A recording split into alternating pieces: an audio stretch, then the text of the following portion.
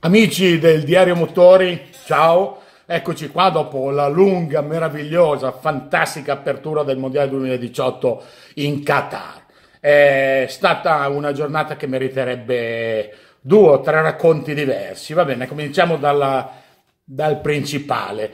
Andrea Dovizioso ha vinto la gara come così, era un po' il favorito, ha confermato dopo una prima parte di gara ehm, in recupero, conservando le gomme, con molta freddezza, molta eh, sicurezza. Ha dimostrato di essere davvero quello lì dell'anno scorso. È tutto ricominciato da dove era finito. Insomma, Dovizioso contro Marquez, ancora una volta all'ultimo giro. Marquez all'ultima curva ha provato a passare Dovizioso, l'ha passato, che però c'è stato poi un incrocio di traiettorie. E il Dovi per la terza volta su tre dopo l'Austria e, e Motegi eh, ha vinto la gara questa volta per 27 millesimi di secondo su Marquez. Grazie sia alla sua intelligenza, alla sua freddezza all'ultimo giro, ormai alla sua conoscenza dell'avversario e anche al gran motore della Ducati. Honda però è molto migliorata, nessuno si aspettava che sarebbe andata così bene in Qatar e appunto Marquez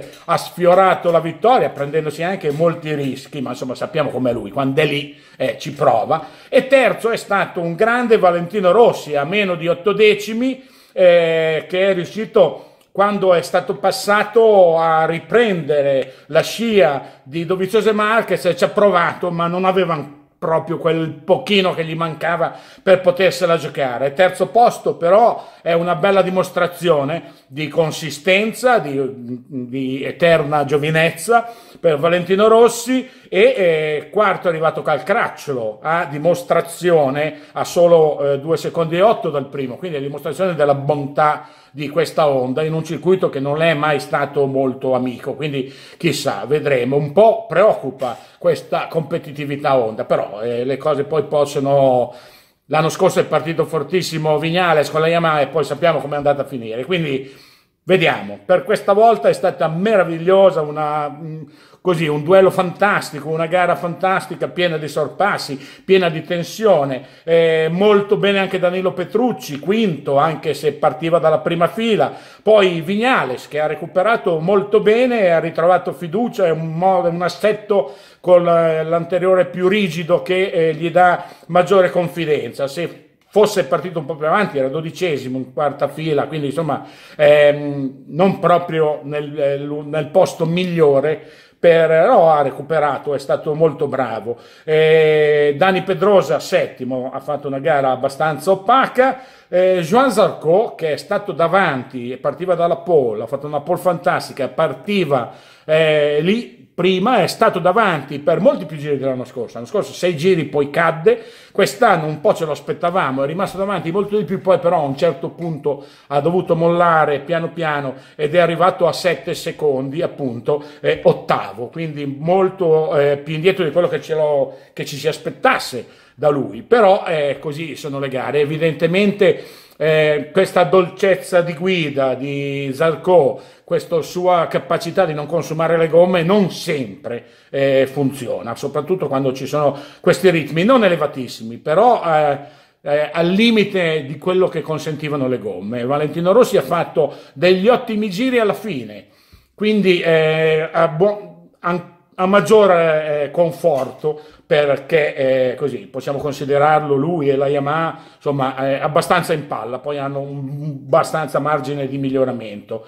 Iannone nono, peccato per Rins che era lì davanti che se la giocava, è scivolato Così come è scivolato Jorge Lorenzo, ma è stato una specie, ha avuto dei problemi ai freni anteriori, è andato largo per non finire contro le barriere, si è, è auto buttato, si è buttato in terra, per cui insomma è una brutta giornata per lui. Molto positivo Franco Morbidelli, eh, dodicesimo, eh, primo degli esordienti, ma anche eh, dietro a Miller e Rabat, però davanti a Bautista, Searina, a Dravan, a Luti, a Nakagami, a Smith, a Lex Spargarò, Paul Spargarò invece è caduto.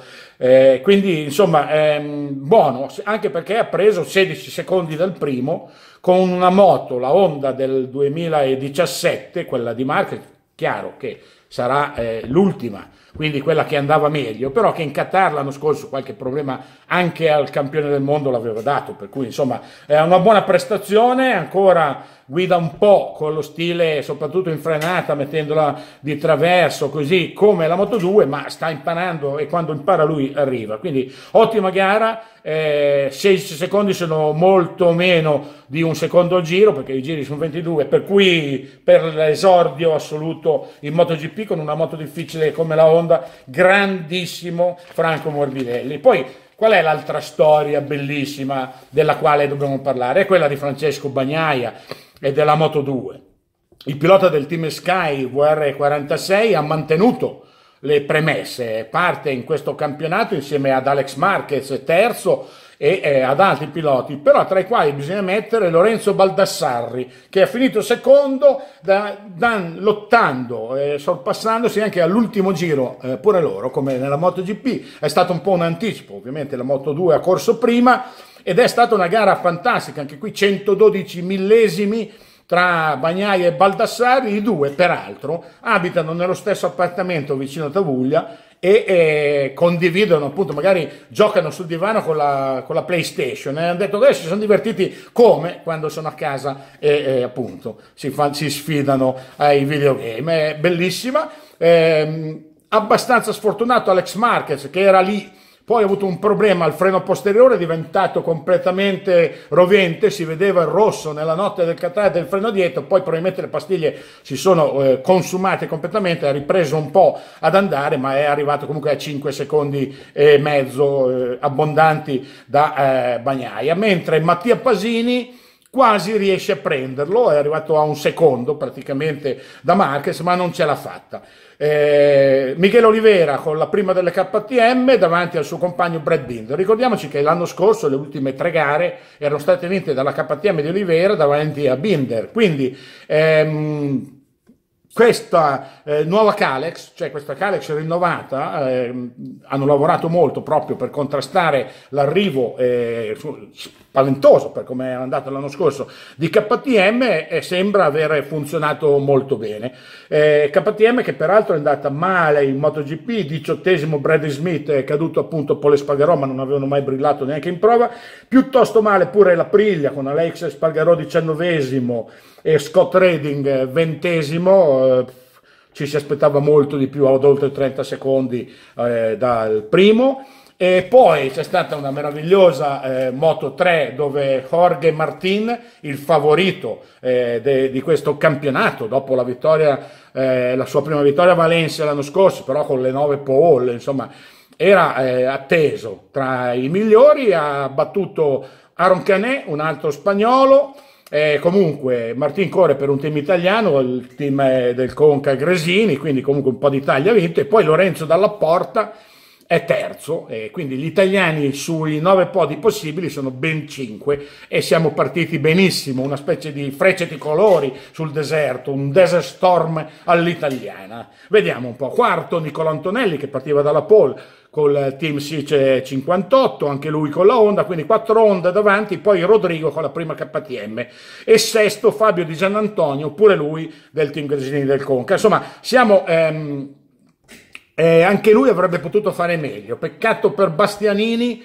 che è caduto mentre era lì davanti con i primi, ma insomma, eh, bella, una prima giornata bella anche per la Moto 3, però con gli italiani che sono lì e eh, sono tanti ad andare forte, ma insomma poi alla fine però bisognerebbe eh, vincere. Invece anche quest'anno, come due anni fa Binder, l'anno scorso Mir, sembra che ci sia qualcuno, in questo caso Martine, magari anche Canè, eh, molto difficili da battere. Vedremo, perché dalla porta Antonelli, Di Gian Antonio, Migno e poi anche Bastianini eh, potrebbero eh, dire la loro. Male Nicolo Bulega che è caduto ma era sempre indietro, abbastanza difficile l'esordio come previsto di eh, Dennis Foggia su una pista dove non aveva mai corso, in un mondo in un, eh, diverso da quello a cui era abituato, uno che fa il CEV e corre in Europa è diverso da andare via, stare fuori, vivere in hotel, vivere una gara extraeuropea e così sarà in Argentina e ad Austin. Da Jerez secondo me dovremmo ritrovarlo là tra i primi. Diciassettesimo Tony Arbolino, non molto bene, E cosa dire? Male, male direi eh, rispetto alle aspettative la KTM, quinta in, la prima, quinta in Moto 2, quinta in Moto 3, appunto diciottesima in MotoGP. Ci si aspettava di più da loro, ci si aspettava di più da Aprilia. E adesso, vabbè, adesso dobbiamo aspettare due settimane prima dell'Argentina che sarà l'8 di aprile e vediamo se continuerà questo duello tra Dovizioso e Marquez e, e, soprattutto come andrà Ducati su queste piste eh, dove non ha provato, dove non si sa ancora come eh, riuscirà a, cosa riuscirà a fare, cosa riuscirà a fare Marquez e anche ovviamente cosa riuscirà a fare Valentino Rossi. Bene, oggi è stata una giornata fantastica, un inizio bellissimo, un campionato si prospetta molto molto divertente. Ciao!